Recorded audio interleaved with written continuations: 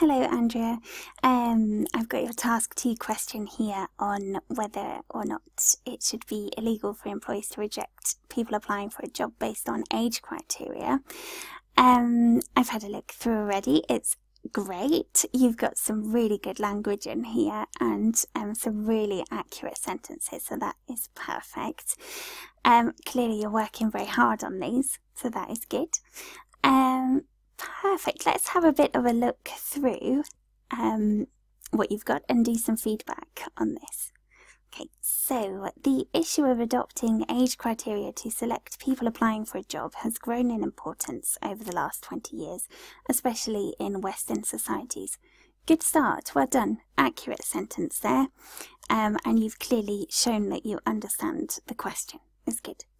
Uh, recently, the laws of some states make it illegal to discriminate on the basis of age. Good. However, some believe that employers should have the right to reject older people. Well done, good. Personally, I firmly believe that there should not be any restrictions based on age. This essay will analyse both sides, using examples from the US military and the Norwegian government to demonstrate points and prove arguments. Well done. That is a very good introduction. Okay. Um, you've started by outlining the question, describing what the problem is. Um, then you've moved into your opinion about it, and then said what you will do in the essay. We could argue that perhaps um, we could use our opinion in the conclusion rather than in the introduction so that it develops throughout the essay. But uh, that's really kind of down to um, where you prefer to use it. And I think in this essay it's, it's done very well. Okay. Um, so first paragraph, on the one hand, so we're just missing an E at the end of one there, on the one hand. Okay, so on the one hand, there is ample evidence um, that uh, age can influence workers' productivity, good, especially in specific types of jobs.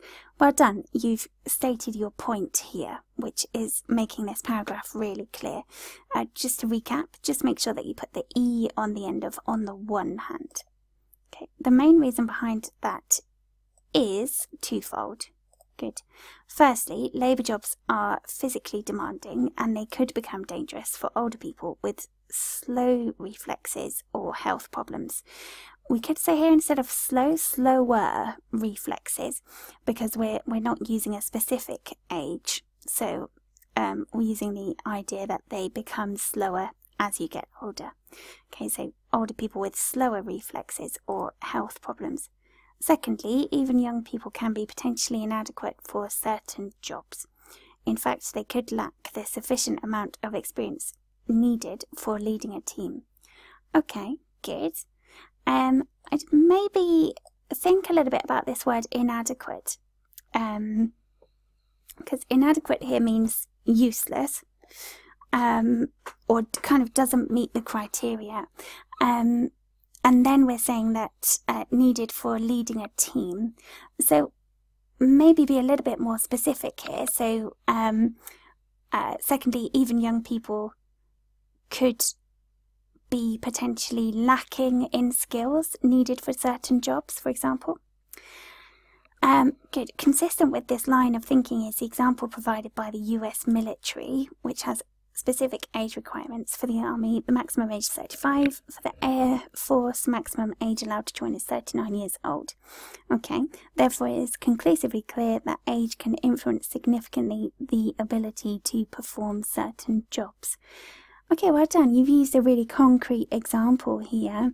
Um, so, uh, using the Army and the Air Force arguably you could perhaps go into a little bit more detail. So, what is it about those jobs that means that um, people under 35 or under 39 are not suitable for them? Um, so, for example, is it due to fitness? Is it due to health, etc.? So, maybe just make that very clear in that example there. Okay, um, next one. On the other hand, even if there is a case for age influencing work effectiveness in spe specific contexts, the importance of avoiding any sort of discrimination cannot be overstated. Okay. Um, good. The vocabulary that, that's causing it to become a, a little bit clumsy here is work effectiveness. Um, so, on the other hand, even if there is a case for age influencing effectiveness at work in specific contexts, the importance of avoiding any sort of discrimination cannot be overstated. Uh, this is largely because it is ethically wrong to reject people before testing them personally just because of their age of birth, um, just because of their date of birth. Okay, uh, so their date of birth, D A T E, date of birth. Furthermore, in most cases, age is just a number, it's just a number, and people can perform at high levels independently of their age.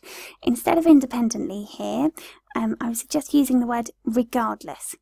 Okay, so can perform at high levels or can perform at a high level regardless of their age. Uh, this viewpoint is echoed by a recent study by the Norwegian Medical Council, which showed that among health professionals there is not a significant correlation between age and productivity at work. Well done, fantastic. Thus, it is possible to state beyond doubt, beyond, B E Y O N D, beyond doubt, that there is no major reasons to discriminate people based on age criteria. Good, okay, well done. And then on to your conclusion. To conclude from the examples and arguments given, I firmly agree that making ing it illegal to discriminate on the basis of age is a positive development. However, age criteria should exist just for few specific labour jobs in order to protect workers' health. Okay, well done. This is a really, really strong piece of work. Um, you've done really well here. Um, there are not that many things to change, and if they are, they're they're kind of more advanced errors. So, um, changing words for for possibly one that's slightly more specific. So, for example, that word regardless of age etc. But yeah, a fantastic piece of work. You should definitely be really proud of yourself, and um, showing lots of improvement. So really, really well done.